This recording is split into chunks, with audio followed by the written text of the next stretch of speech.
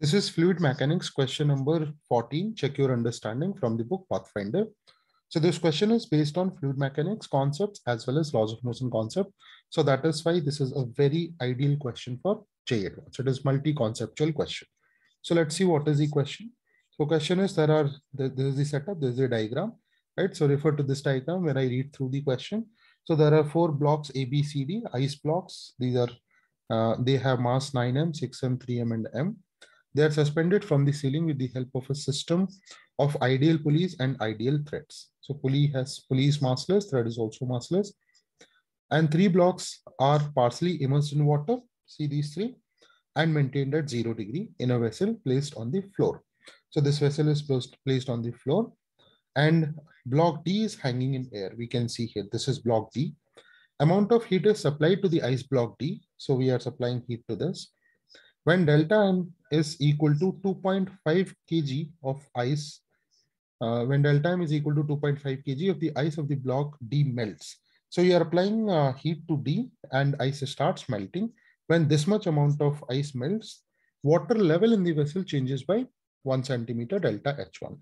And when complete ice melts, then water level further changes by delta H2. Density of ice is given, density of water is given, we have to first find out the area of bottom of the vessel and then tension, initial tension force supporting the block B, right? So let us see. So question was that initially this is an equilibrium. So when it is an equilibrium, I have found calculated the tension. So this is not submerged inside. So mg and mg, right? Force balance. Same string, same tension. Here mg, mg, here 2mg, 2mg, and then here 4mg, right? So I've used uh, pulley constraint and string constraint. So, and then 9 mg, 6 mg, these are the masses given, 3 mg, and then mg I have already used, right? So now question is when delta m amounts of ice melts. So this is heat is supplied to this and delta m amount of ice melts, then what will be new tension? See here, this is if delta m melts, that will go to the water, right? So mass of this is now m minus delta m g. So here tension becomes m minus delta m here it becomes two times of m minus delta m. Here it becomes four times of m minus delta m. Just that now m minus m is replaced by m minus delta m because mass of this reduced by delta m amount. Fine. So first I'm going to calculate and then what is given when this, this much melts, then the liquid level increases by delta H1. Fine. So from that, I'm going to calculate the area of this base area of this vessel. So let us see how do we calculate then. So See, if you think then what happens now? The decrease in the tension force is how much here? Initially it was, see in this diagram, initially it was 4 mg. Now it is 4m minus delta mg, right? So what is the decrease of tension? 4 delta mg, is that right? And here what is decrease in tension? 2 delta mg, right? Here what is decrease in tension? Again, delta mg, because here tension is, this I have not marked, but this is same string, here tension is m minus delta m. So we are calculating the decrease in tension force, right? Because whatever is the decrease in tension force, that will be, now this much tension has disappeared, right? So think what's going to happen. This will still float.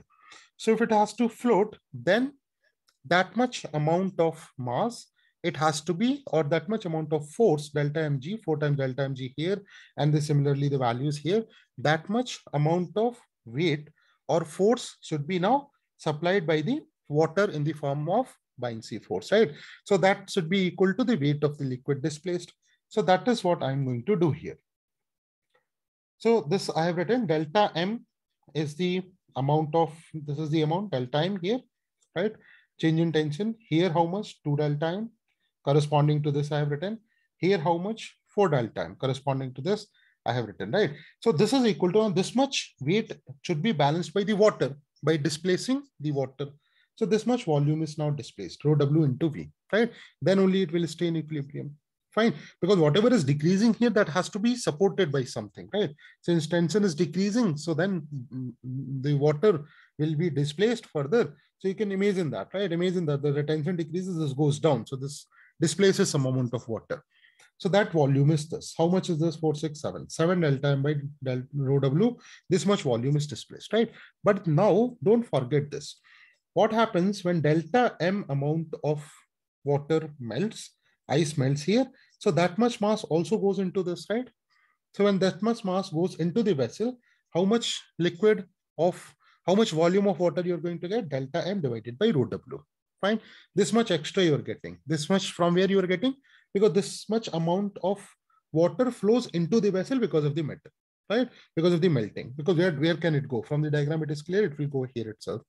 So this is then A delta M by rho W, A delta H1. So from here, we get the area of the vessel, right? So here I've assumed that this these areas are very small as compared to the vessel area. It's not written in the question, but then according to the answer given, we have to assume that. Fine. Okay, so this is the part one. Now we have to calculate the initial tension. So what's initial tension in string V? B 2 mg, right? So that means we need to calculate the value of M. And what was the information given? Let us see once more. The information was given when complete ice of the block D melts, this is block D, water level further changes by delta H2 amount, right? So we are going to use this further. You know? So after this delta H2. So again, now I am going to calculate that after this, what is the extra volume of water that is going to be displaced. So one thing is clear, when this melts completely, what will be tension here? There will be no tension here. So the entire system will collapse, right? So this pulley and all will have no uh, significance then, right? There, there is no purpose. So these blocks will now go and fall into water and then they will displace the amount of liquid which is needed to balance the, their weight. So there is no tension here. Fine. So that is the final state. Now let us see. Again, same concept I'm going to use. So when D melts completely, tension in the string becomes zero. Now, again, what is the extra mass to be balanced, extra force to be balanced? See here, from this point, right? In question, it is given from this point, delta S2 is shifted. From this point rises delta S2. So what is the tension here? Four times M minus delta M, here two times, here one time. So this much now, this much force is gone, right? It is not supported by the tension. This was force upward. So then what should happen? Again, water needs to be displaced to create this effect. Fine. And I, right now I'm leaving this. This also again, same thing for this explanation is different because this much amount will go into water, right? So first these three. So how much extra you have to balance? Four times m minus delta m, two times m minus delta m, m times delta m, and this much, this much mass will again fall into water, right? D block. So total it becomes eight times m minus delta m. This much mass divided by density. So this much volume you need to displace, water need to displace. So this is equal to A into delta S2. Now A we have already calculated. So this is the volume. Volume is equal to, this is the rise in volume. This has to be A into delta S2. By this amount, it will go up, right? Level will go up. So here, after that, just that it is done. So A, this you can substitute here. So when I substitute A value here, I get M as delta M, 1 plus delta S2 by delta H1. Initial tension in string B was 2 mg. So T is equal to 2 delta M, 1 plus delta S2 by delta H1 and G, right? So that's the answer. I have not calculated the values. You can just calculate the value and match your answer. Fine. So that's it. That was my analysis. If you have liked this analysis, please like this video and please share this channel with your friends also. Thank you very much. Thanks for watching. All the best.